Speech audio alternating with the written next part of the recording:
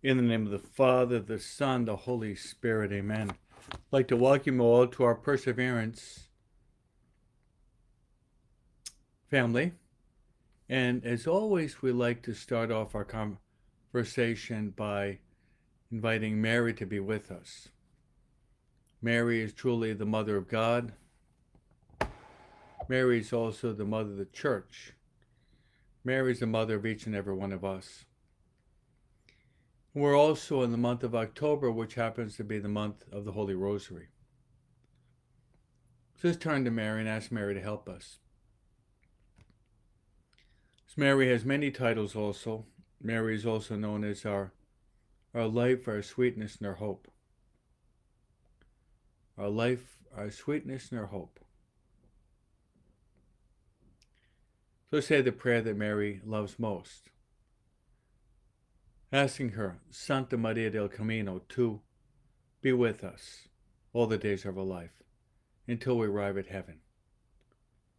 Hail Mary, full of grace, the Lord is with thee.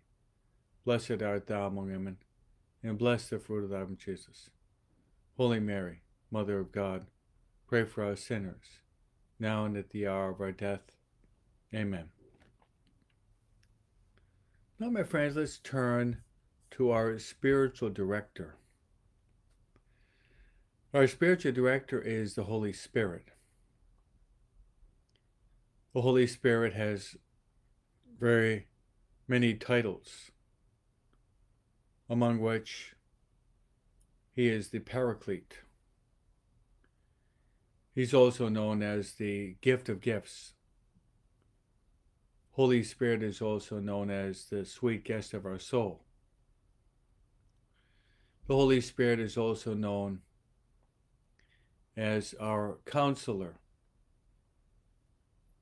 Holy Spirit is also known as our consoler. Holy Spirit is also known as the interior master. St. Paul goes on to say that we don't know how to pray as we ought.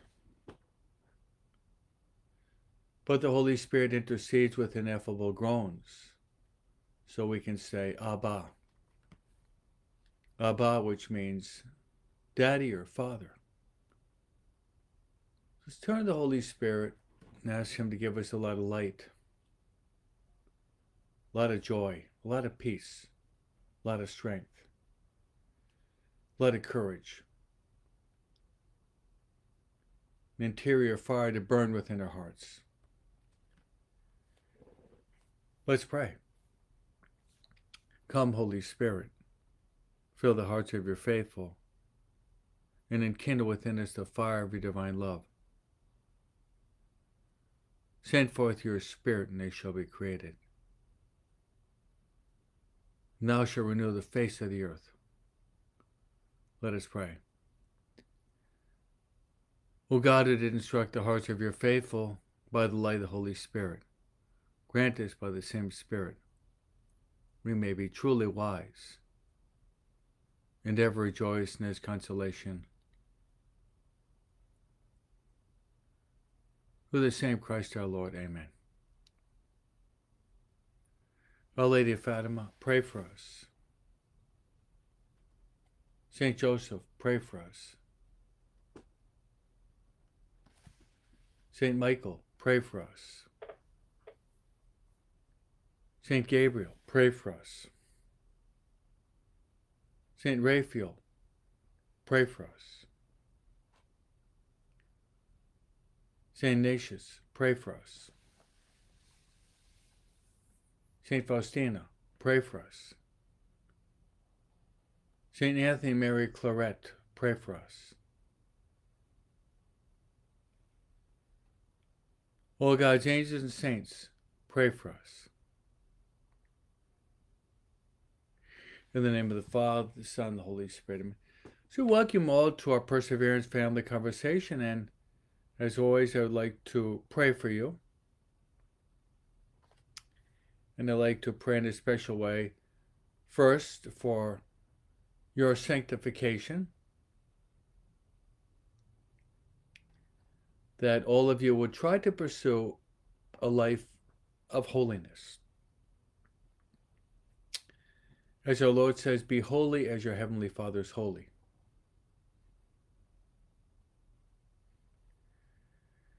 Then I'd like to pray for your families and your children who are exposed to much evil today. Many areas, but especially in many academic areas, many children are being exposed to an erroneous vision of the human person. We know and we believe that we're created in the image and likeness of God. We're created as man or woman, male or female.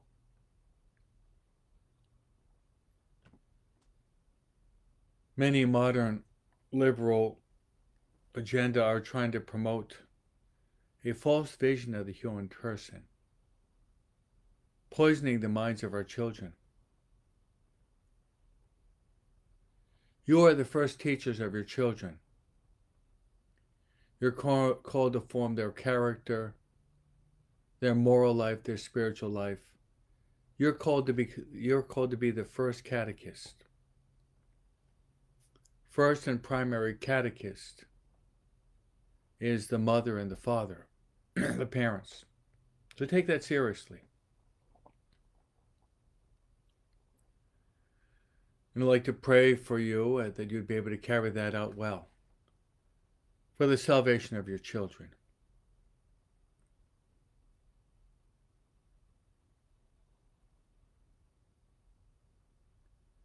My third intention would be that all of us would try to grow in our prayer life. That we take seriously our prayer commitment. That all of us would try, would really strive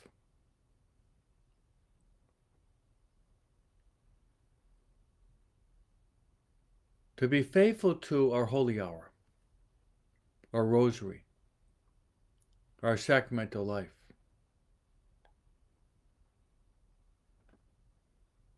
This can help us.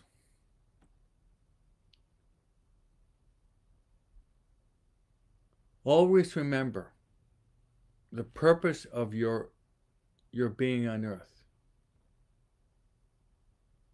Call to mind often principle and foundation. You are created to praise God, to reverence God, to serve God. And by means of that, to save your soul. Constantly, we have to remind ourselves of our principle and foundation.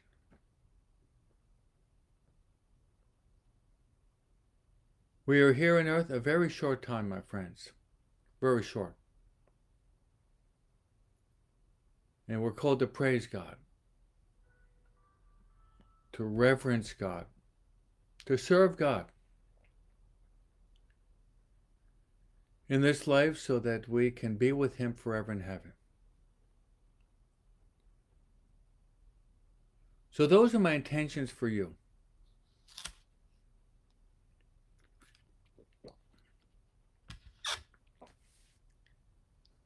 My friends, let's enter into the infinite reservoir of graces that come from the Word of God.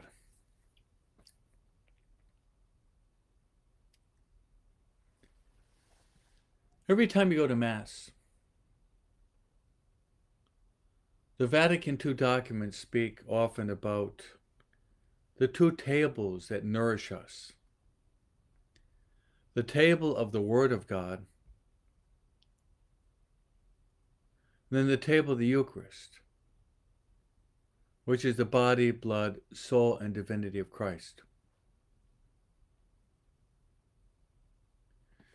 table of God's Word, the table of God's Eucharist.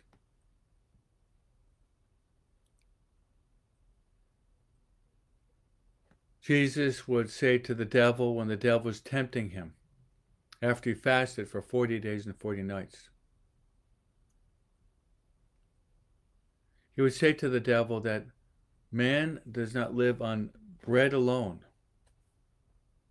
but lives on every word that comes forth from the mouth of God.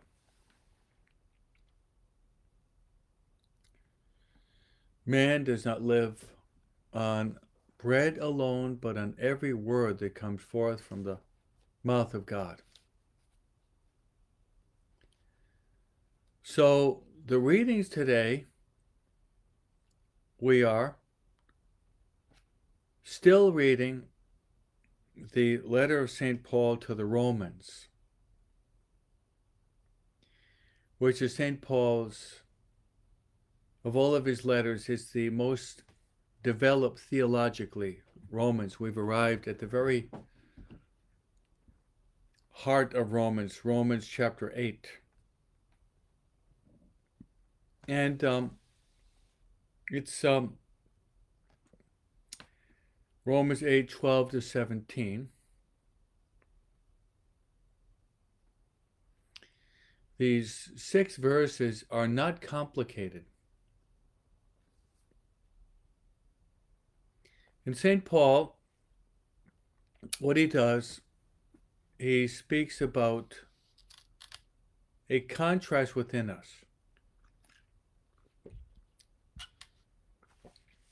He speaks about those living by the flesh and living by the spirit. We all understand this. Either we live according to the flesh or we live according to the spirit.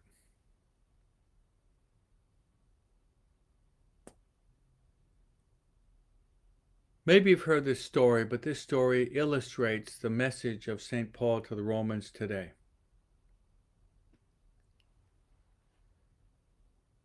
It's a story there of a man who's walking with his 12 year old son through the woods. They're taking a they're taking a walk.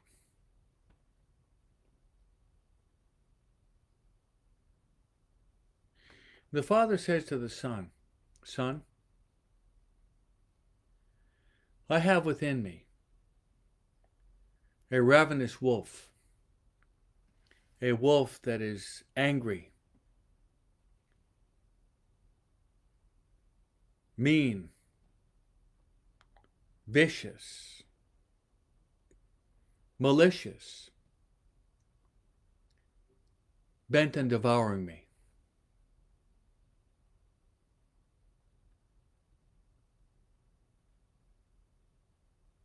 So they're walking for another 15 minutes, and the son is thinking, My father's got a wolf within him. What does that mean?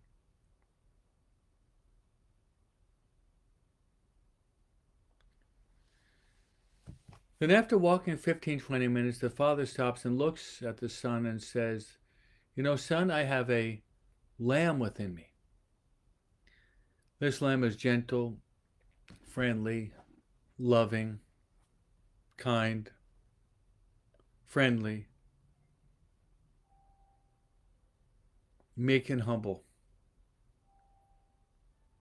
and gentle.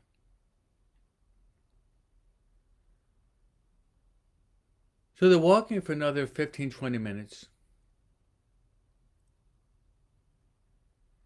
And the son, all this time, is thinking about his father who has both a wolf and a lamb within him.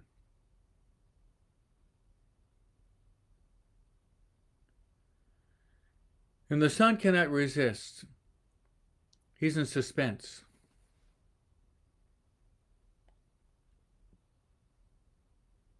And he turns to the father and says, Dad, which of those two are going to win? The wolf or the lamb?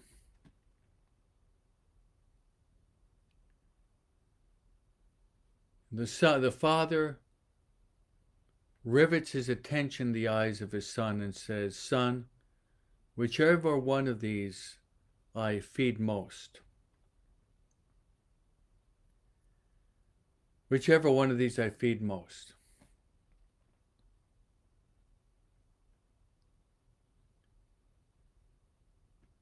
That story is your story, and that story is my story. Either we feed the wolf or we feed the lamb.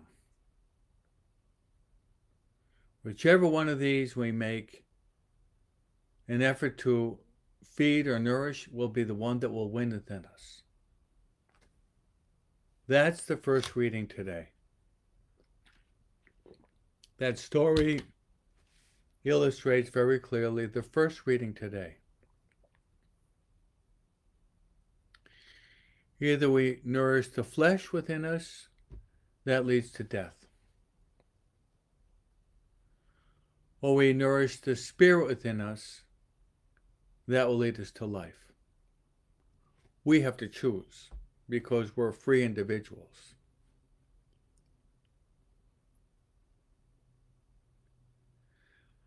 Probably the best way to really understand this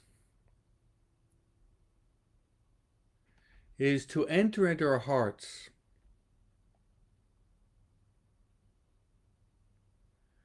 and to see whether or not the capital sins are dominating and controlling us.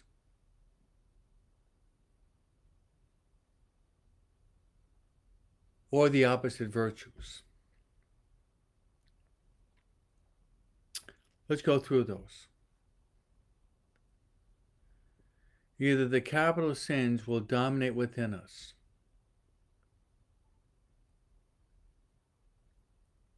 and the flesh will win. Or the opposing virtues will dominate and conquer within us. And we'll experience truly, truly the freedom of the sons and daughter of God.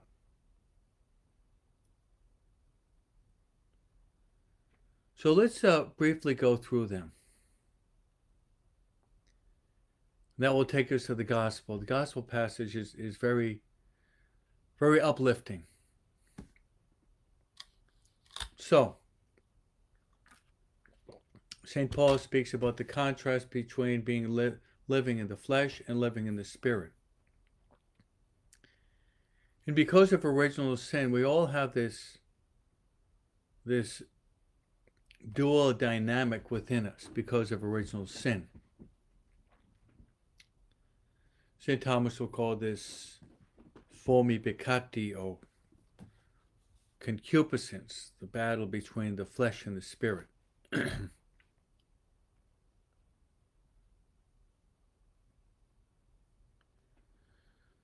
so let's go through them.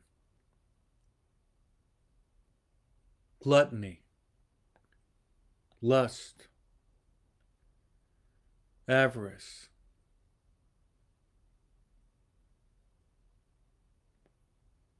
sloth,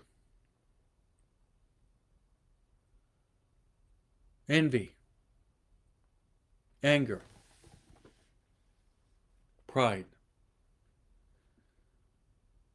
Those would be the seven wolves that we have lurking within the inner recesses of our souls, of our hearts.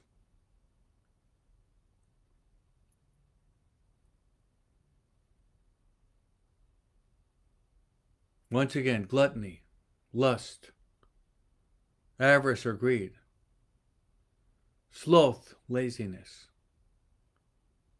envy, anger, and pride.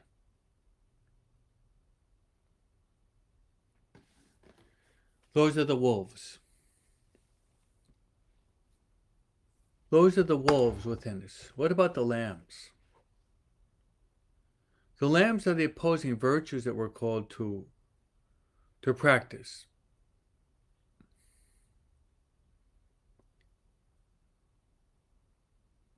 So let's talk briefly about these lambs and pray in our holy hour that the wolf, that the flesh within us would die, but the Lamb, the virtue within us, would, would grow, blossom, and flourish, and bring forth an abundant harvest in eternal life.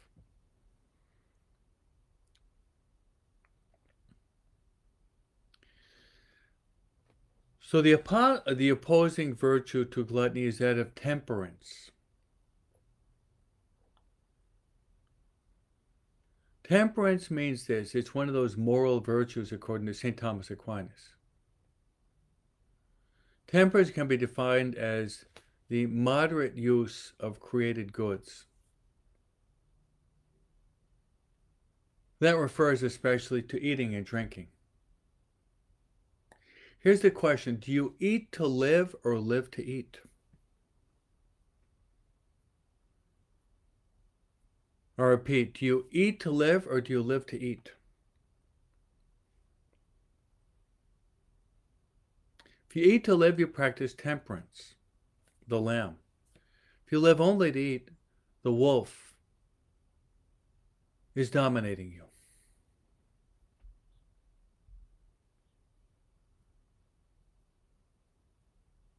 How about the capital sin of lust? And the opposing virtue would be chastity or purity.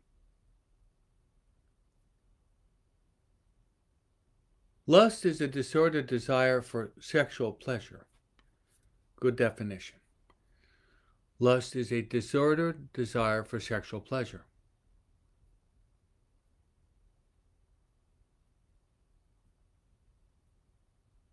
The contrary virtue would be that of chastity or purity.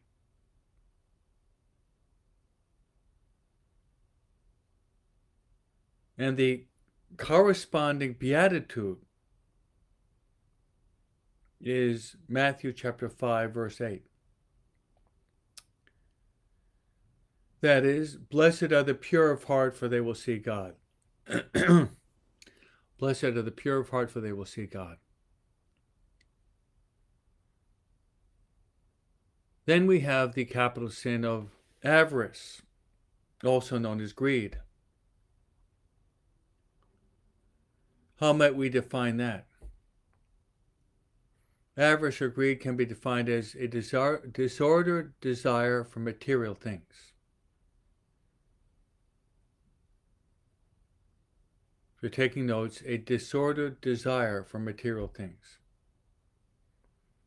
In sin, there is disorder. In the Catechism of the Catholic Church, quoting Thomas Aquinas, actually goes on to say that sin is sin also goes against reason.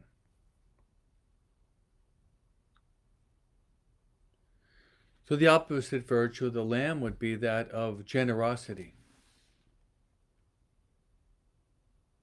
Learning that there is more joy in giving than in receiving.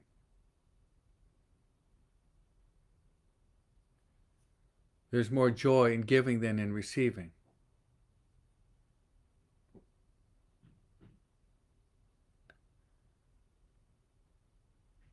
Erich Fromm says, if you are what you have and you lose what you have, who are you? That's a good one. Erich Fromm. If you are what you have and you lose what you have, who are you? The philosophical word would be that of materialism. Materialism.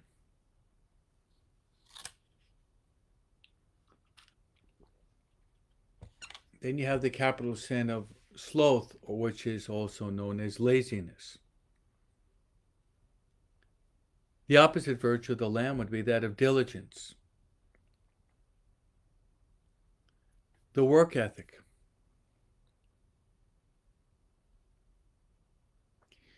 And remember this idleness is the workshop of the devil. You've got children, make sure that they're active. Otherwise, the, the devil will get in there, even with ourselves. Every day we should have a full schedule. We're working hard because we're working for the Lord. And as St. Paul says, whether you eat or drink, do everything for the honor and glory of God. Whether you eat or drink, do everything for the honor and glory of God.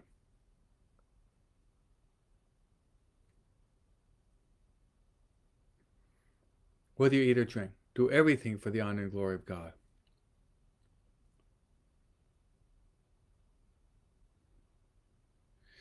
And then we move into the capital sins that are more of an intellectual nature. The first four are more corporeal. sins more of the body. The last three are more of a, an intellectual nature. We take that of envy. How might we define envy? Envy is I become sad because I become sad because you have something that I don't have.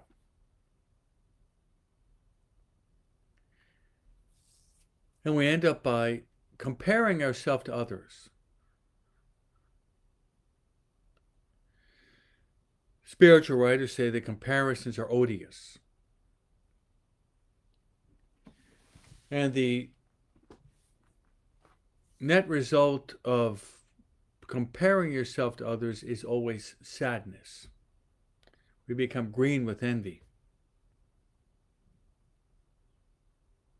The opposite would be that of admiration and gratitude.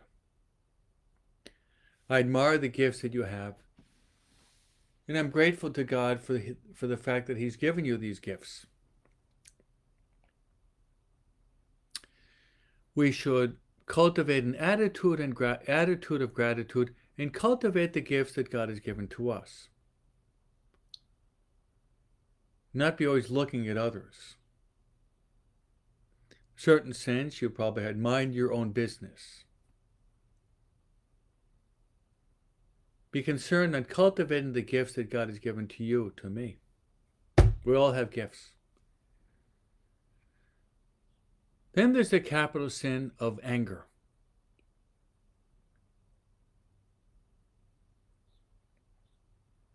We lose control of our inner peace and harmony when we give into impatience. The opposite of anger would be that of meekness. And meekness is not weakness, but powerful emotion under control. Jesus himself describes his heart in Matthew chapter 11, verse 28 to 30. The only time that he describes his heart in two ways. He says that I am meek and humble of heart. So the opposite of anger is meekness, powerful emotion under control. Meekness.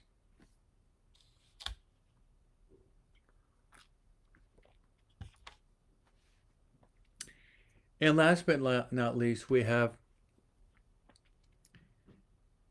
the capital, we have the capital sin of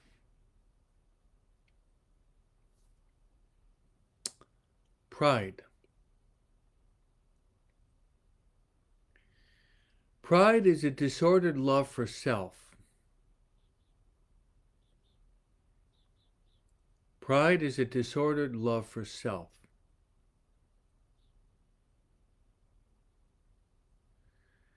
And of course, the opposite of the capital sin of pride would be that of humility.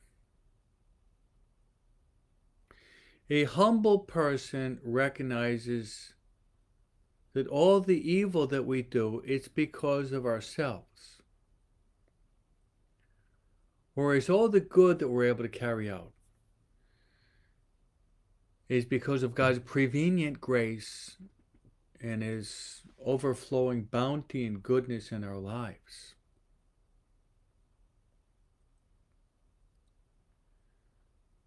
His prevenient preceding grace and His abundant, overflowing goodness in our lives. So, my friends, I thought that uh, that that analogy would be the best way for you to understand the reading today. Because St. Paul speaks about the flesh and the spirit. That we are not debtors of the flesh, to live according to the flesh. For if we live according to the flesh, we will die. But if by the Spirit you put to death the deeds of the flesh, you will live. We have this interior battle within us because of original sin. And either the wolf will win or the Lamb of God will win. Will win. The wolf is gluttony. The lamb is temperance. The wolf is lust. The lamb is purity. The wolf is avarice. The lamb is generosity. The wolf is sloth or laziness. The lamb is diligence and hard work. The wolf is envy. The lamb is admiration and gratitude. The wolf is anger. The lamb is meekness. The wolf is pride, disordered love for self. The lamb is humility. Jesus, meek and humble of heart. Make my heart like unto the unto unto thine. So hopefully this analogy and this explanation will help us so that we'll put to death the wolf within us so that the lamb, the lamb of God, would dominate in our lives. That we would not be controlled by the desires of the flesh, but be guided and be moved by the Holy Spirit of God. Amen.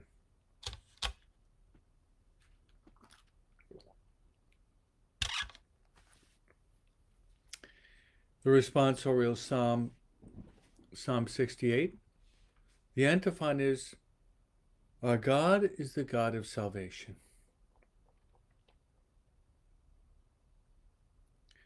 Our God is the God of salvation. A short but very efficacious prayer could be simply this Lord Jesus, save me. Lord Jesus, save me. Our God is the God of salvation. Lord Jesus Christ, Son of the living God, save me. So, that will take us right into the gospel where we see Jesus saving someone. because the name Jesus, which comes from Aramaic, means God saves. We should beg Jesus to save us from our own slaveries, to liberate of us of the wolf that's within us. That we should do, of that wolf that we have within us. We got the wolf and the lamb. Which of the two will win? Whichever one we feed most.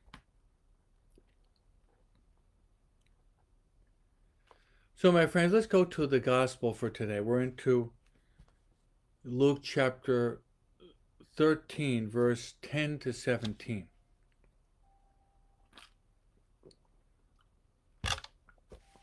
What do we have?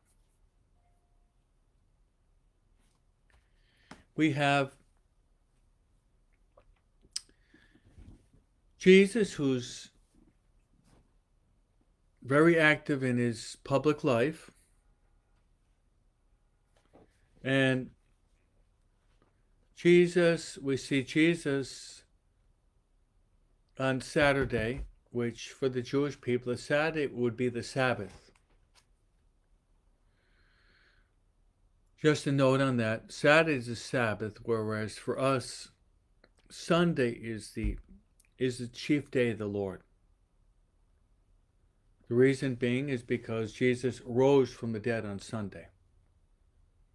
And every Sunday is like a, it's a mini resurrection.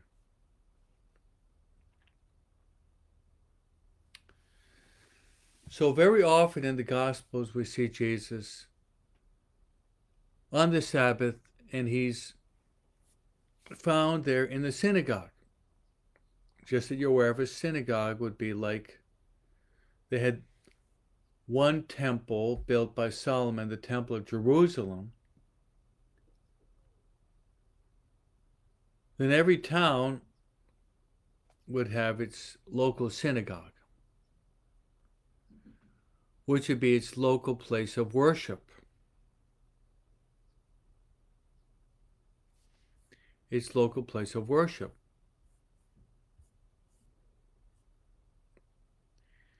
So, Jesus is there,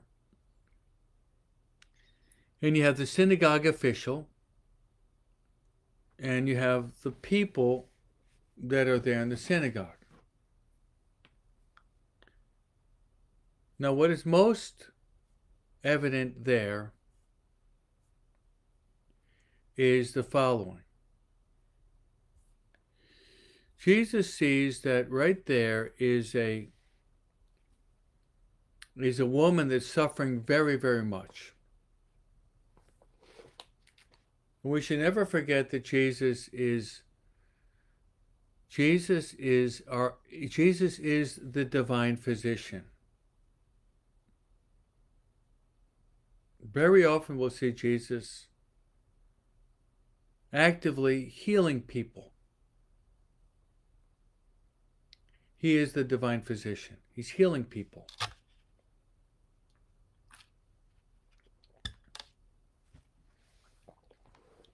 So,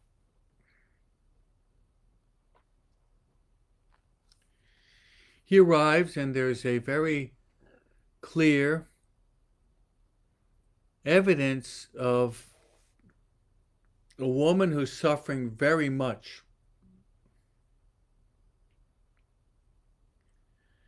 And involved in this infirmity of the woman is the evil spirit.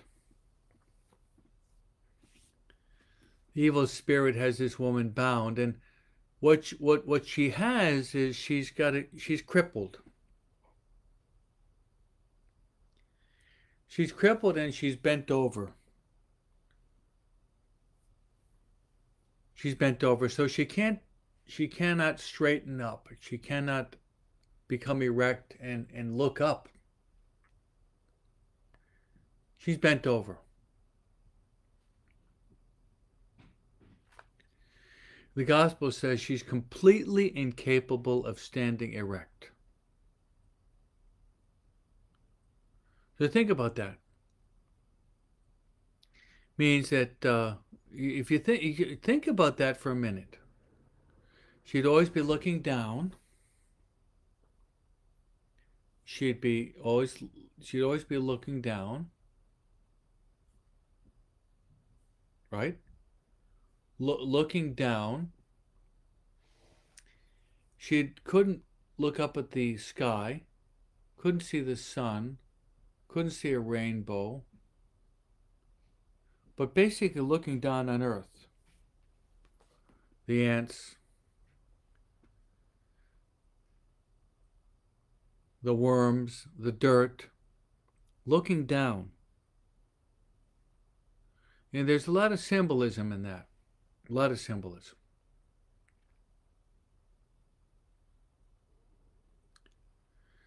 So Jesus enters the synagogue and she he sees this woman. And this is not said explicitly, but it's obvious.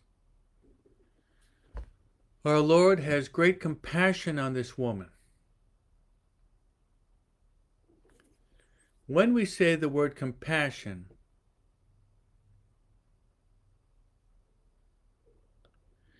compassion is a compound word that comes from Latin and it means cum passio means to suffer with. He suffers with this woman. His heart is moved. And he doesn't ask her any questions, but he wants to heal her of this infirmity right away.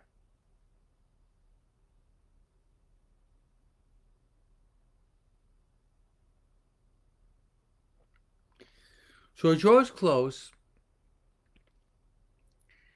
and he says to this woman, You, you are set free from your infirmity.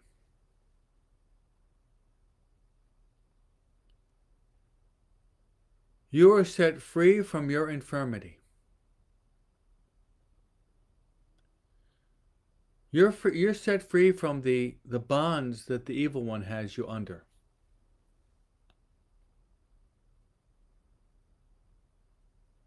So you have the word of Jesus, you're set free from your infirmity. And St. Luke, who is also a physician, we celebrated his feast day last week, October 18th.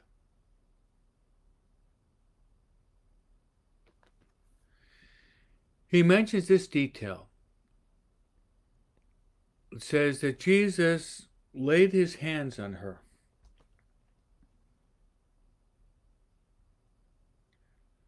So we have both the word of Jesus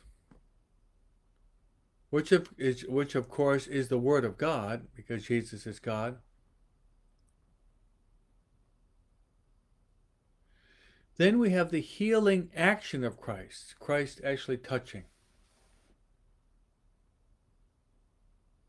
Jesus would sometimes carry out miracles just by his word, other times by touching.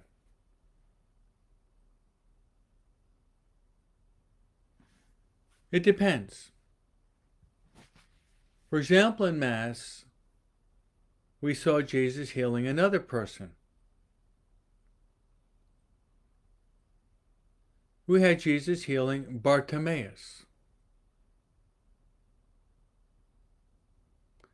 Who is Bartimaeus? Bartimaeus was a, a blind beggar sitting on the street corner there in Jericho. Bartimaeus cried out, Lord Jesus, Son of David, have, have, have mercy on me. Jesus asked him, What do you want? I want to see. And Jesus said, Let it be, let it be done to me according to your faith. And he was healed of his blindness. And it was simply the word of Jesus. Sometimes it would be the word, other times it would be both word and action or gesture.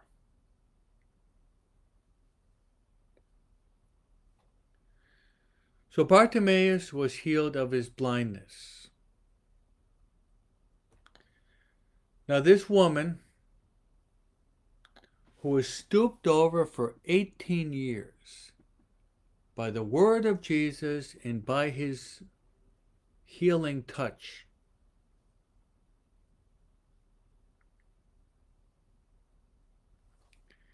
she stood up straight and at once. See, not only does Jesus heal, but his healing is immediate. So she stands up. And then right after that, St. Luke points out that she glorified God. She glorified God, and that's exactly what we're called to do in our lives. As I said at the very beginning of our conversation today, we are created to praise God. Or if you like, we are created to we are created to glorify God. We are created to worship God. So this woman ends up by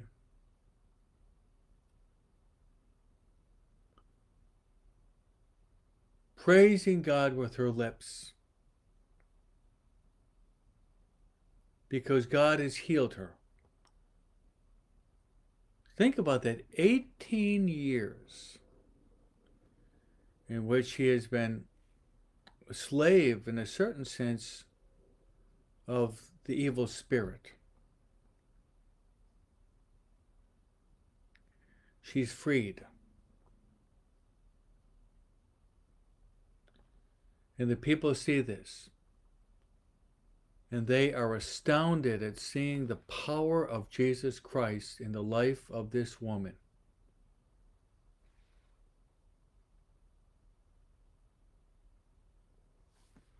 Now, there's a reaction. There's a reaction. And the reaction is it's it's very sad to see what happens, but this is what happens.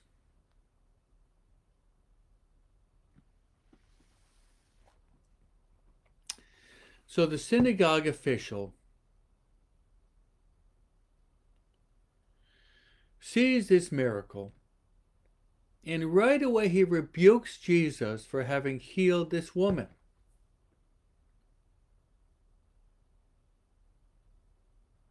So the synagogue official says this publicly by rebuking Jesus by carrying out this extraordinary miracle of compassion, mercy, kindness.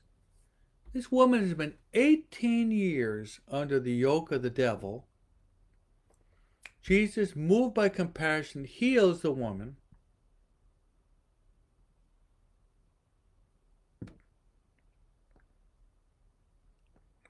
Then this man blurts out, There are six days when work should be done. Come on those days to be cured, not on the Sabbath day. How cold, how cruel, how inconsiderate, how this man's heart had been shriveled. He only focused, he only focused on the letter of the law and not on the spirit at all. You're only focusing on the exterior, the letter of the law, the facade rather than on the spirit.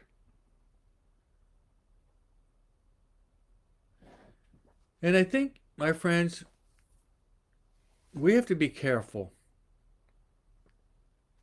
in our own lives.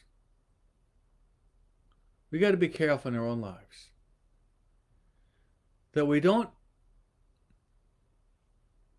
spend so much time focusing on the exterior and we forget about the interior, the spirit. So the Bible teaches us man can read the appearances, but God can read the heart. We might have a little bit of the hypocrite within us. We pay so much we pay so much attention to the exterior that the interior is lost.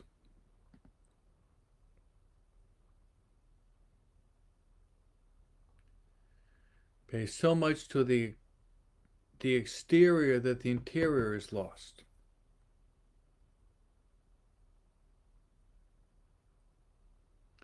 Now, Jesus is not silent. He's going to defend this woman. And as always, Jesus is surrounded by a crowd of people, and of course, his disciples were there.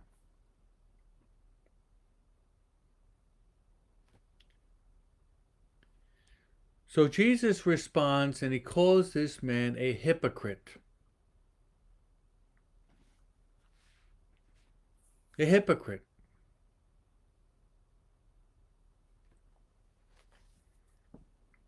He's double faced. He's blind to seeing the presence of God.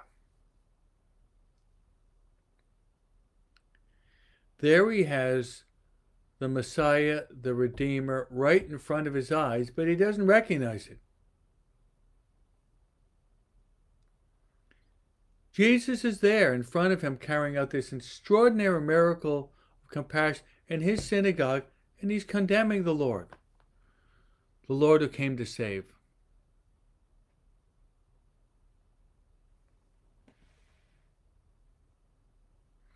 And our Lord gives a very simple example that everyone can understand, and we can understand it today, 2,000 years later.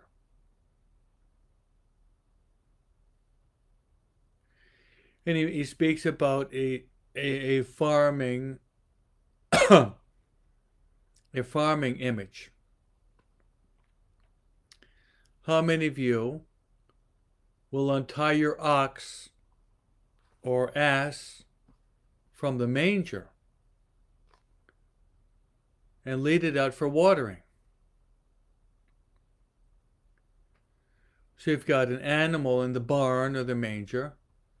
It's the Sabbath day. Okay, you untie to let him drink some water.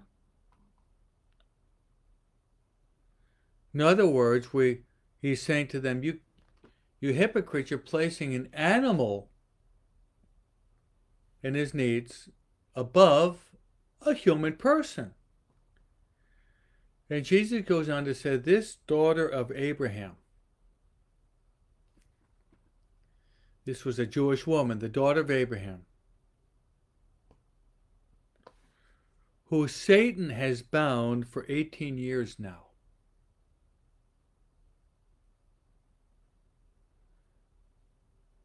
I think that's very interesting that Jesus says that this infirmity, this sickness, was actually caused by Satan, the evil spirit. So, a certain sense, Jesus did a healing and an exorcism at the same time.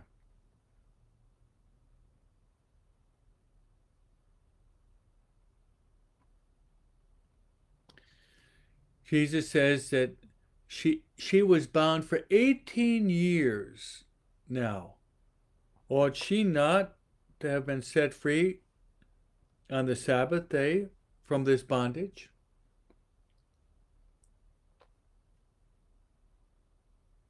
What Jesus is really saying is this He came to save,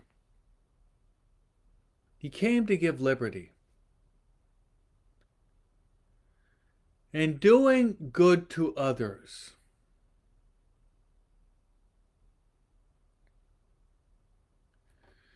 Doing good to others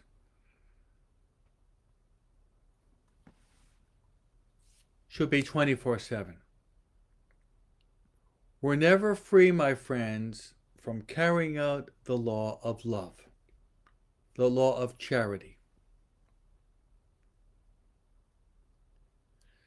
So Jesus comes out very strong against this hypocrite is blinded to see that the Messiah, the Savior, is right in front of him working this stupendous miracle in his synagogue. Jesus comes down strong. He calls him a hypocrite.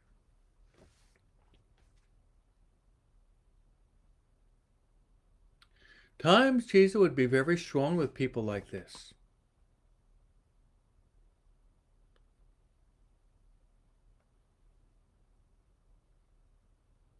So the last verse points out that all of his adversaries, Jesus had friends, and many.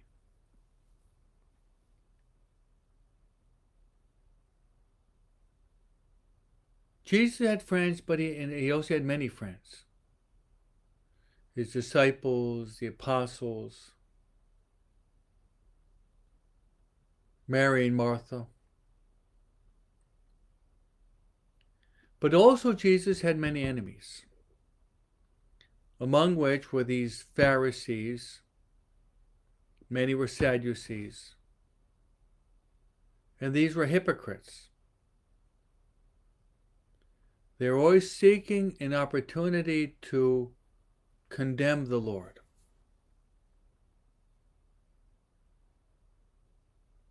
And it says that all his adversaries were humiliated. So our Lord actually humiliated these hypocrites. And of course, this would make them even more angry against Christ, such that they would want to put him to death, which eventually would happen what eventually would happen.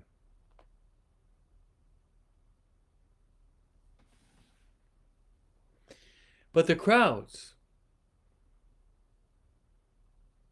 the crowds that surrounded Jesus had a different reaction. As this woman rejoiced and praised God, So it says the whole crowd rejoiced at all the splendid deeds done by our Lord and Savior Jesus Christ.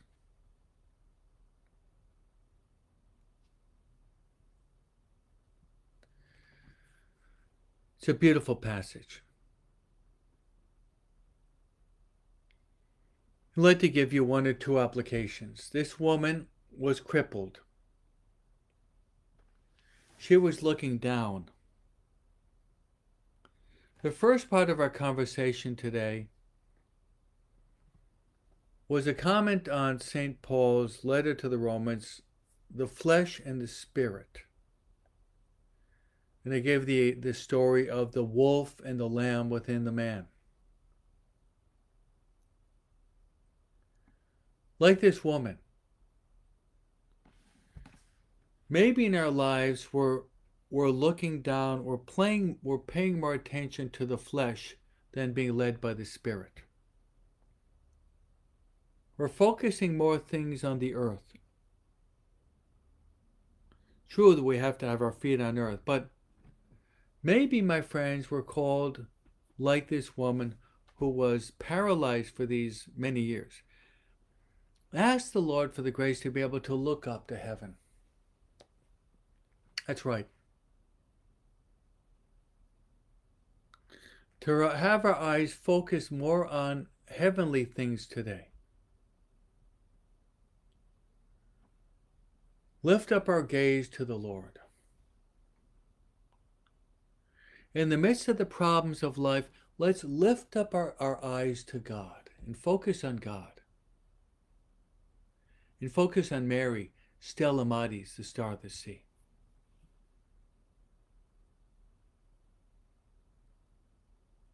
And let's pray. Let's pray that the Lord let's pray that the Lord would heal us. Pray that the Lord would heal us of our own paralysis, our own infirmities. Let's pray that he would heal us. Jesus, his name's his name means God saves. May heal us of our interior paralysis, our interior sicknesses. Beautiful prayer. Lord Jesus, save me. Lord Jesus, save me. So I'd like to end by giving you my priestly blessing that God would heal us so that we can be a source of healing to a broken and sick world.